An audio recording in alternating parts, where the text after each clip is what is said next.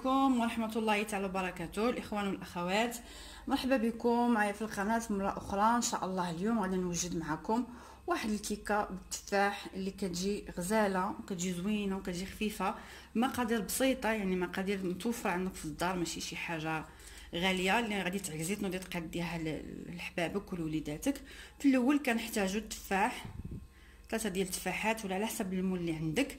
كنحتاجو sachet ديال la vanille. واحد la vanille اللي غادي نديرها فوق آه، التفاح.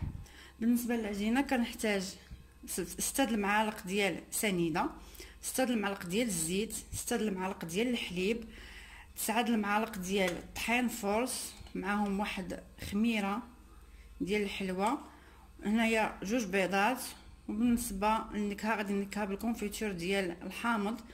اللي صاوبته قديته درتو في الفريغو كنخدم به غير الكيكات ولا كيجي غزال في الحلويات كيجي كيعطي واحد البنة زوينة الكيكة كتجي شوية فيها ديك النكهة ديال الحامض. إلا ما كانش متوفر عندك la confiture ديال الحامض تقدري ديري ديال المشماش ديال الخوخ ولا تنكهيها ب la vanille ولا بقشور الحامضة ولا بقشور الليمونه هو الح... هو الحامض كيجي غزال مع التفاح دابا ندوزو للطريقه ناخدو البانيو ولا البول فاش غادي نخدمو؟ كنديرو في الأول سنيدة مع البيض. ديما هادو كنخدمو بهم هما الوالا وشوية ديال الملحة واحد قبيصه ديال الملحة. ضروري من الملحة. غير شوية. صافي كنضربوا هادشي بالضراب.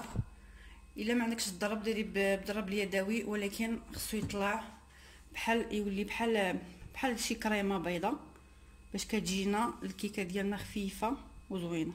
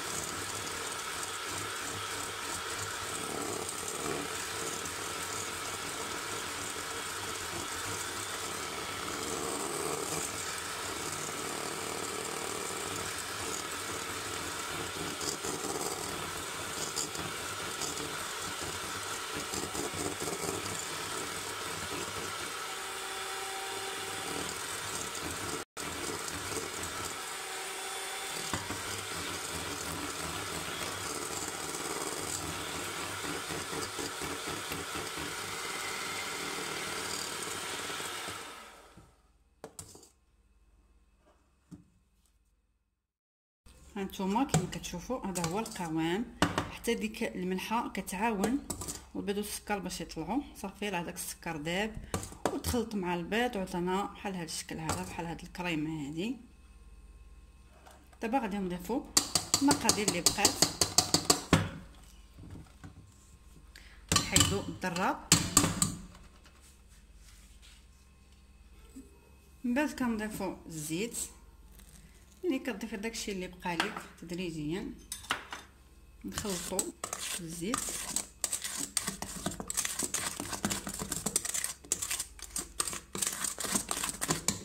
نضيفو الحليب. ونضيفو هذيك المعلقة ديال الكونفيتور ديال ديال الحامض. ملي كنخلطوها لداخل كتذوب ما كتبقاش هكا قاصحه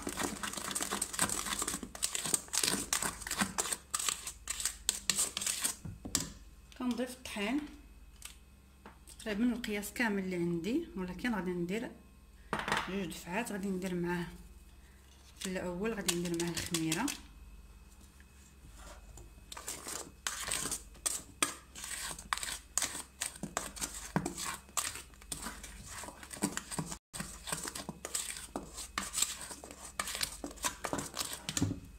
الكمية اللي بقات يعني تسعة ديال المعالق. هي اللي غادي تاخذ لينا هاد الكيك بالعبار وبالحساب نيشان. بالنسبة للمقادير بالعبار غادي نخليها لكم في صندوق الوصف باش تكون مفهومة. يكونوا المقادير عندكم إن شاء الله تقدروا ديروها.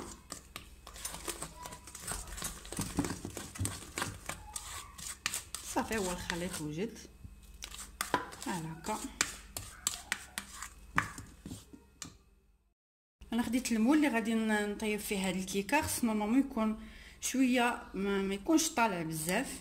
يكون ويكون شوية عريض باش ما تجيش الكيكة ديالنا آه كبيرة وغليظة بزاف. normalement هاد الكيكة ديال التفاح كتكون la pâte ديالها كتكون شوية هادرة شوية يعني شوية خفيفة وما كتكونش طالعة بزاف بحال الكيكة العادية. صافي أنا دهنتو بشوية ديال الزبدة ودرت ليه شوية ديال الطحين. أنا غادي نخوي فيه. عجينه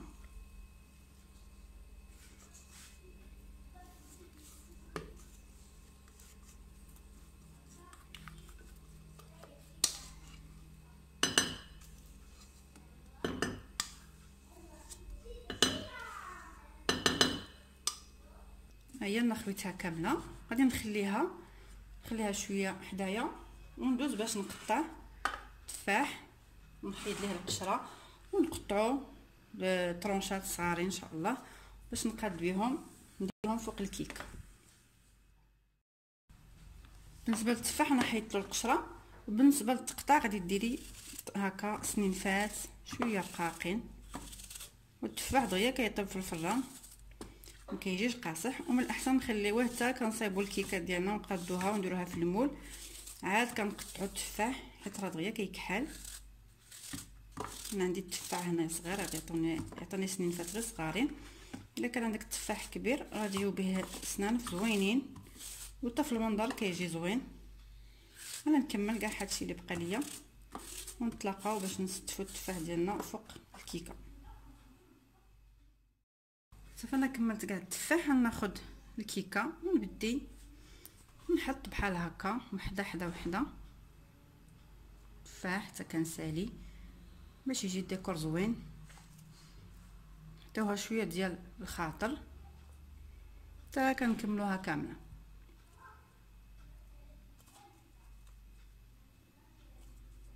إلا كان عندك البعويد تقدري ديريه ولا الخوخ حتى هو كيجي زوين. كيجي زوين هذا النوع ديال الكيكات. يعني بالنسبة للفروي اللي كان متوفر عندك تقدري ديريه ماشي مشكل إلا ما كانش تفاح. صافي أنا نكمل كاع لي طرونش اللي عندي ونحاول نقادهم باش يجي المنظر ديال كيكه بالتفاح كيجي زوين. نتلاقاو إن شاء الله.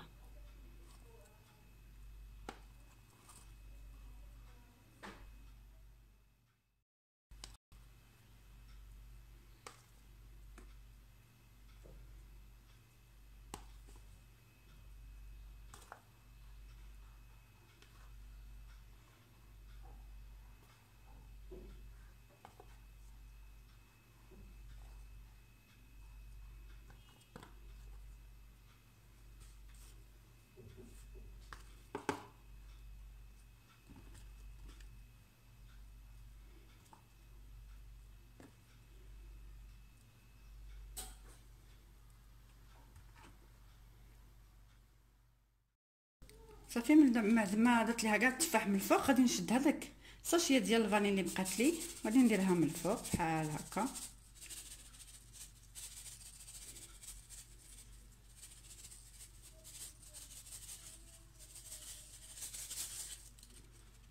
هي الفاني كتعطي واحد التقرميلة زوينة للتفاح كيجي زوين ومحمر. وكيجي بحال معسل. إلا ما عندكش الفاني ديري غير سنيدة ولا سكر كلاصي من الفوق حتى هو كيدير نفس الطريقة نفس الشيء.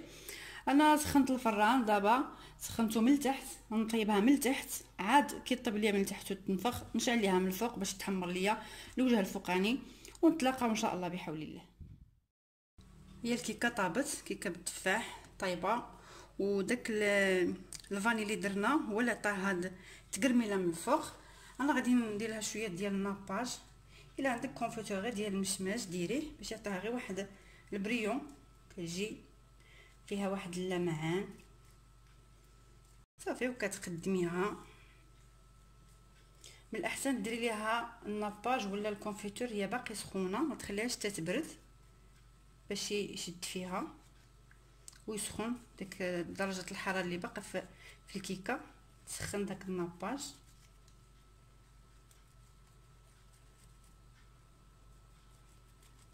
صافي بحال هكا. ديروا حتى في الجناب. حيت الجناب شوية كيكونوا ناشفين.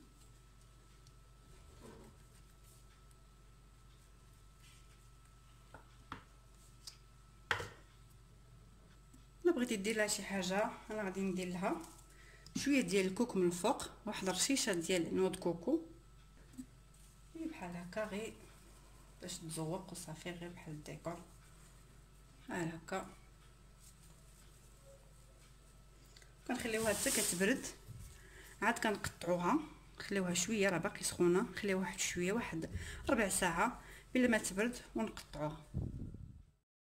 هو الشكل النهائي ديال الكيكة ديالنا بالتفاح. كتجي زوينة وخفيفة يعني ما فيهاش شي حاجة ديال المقادير شي حاجة صعيبة. نتمنى تنال الإعجاب ديالكم وتبارطاجيوها مع الحباب والصحاب وما تنساوش ليا جيم الفيديو والاشتراك في القناة إلا باقي ما اشتركتي. وشكرا لكم على المتابعة وإلى فيديو لاحق إن شاء الله.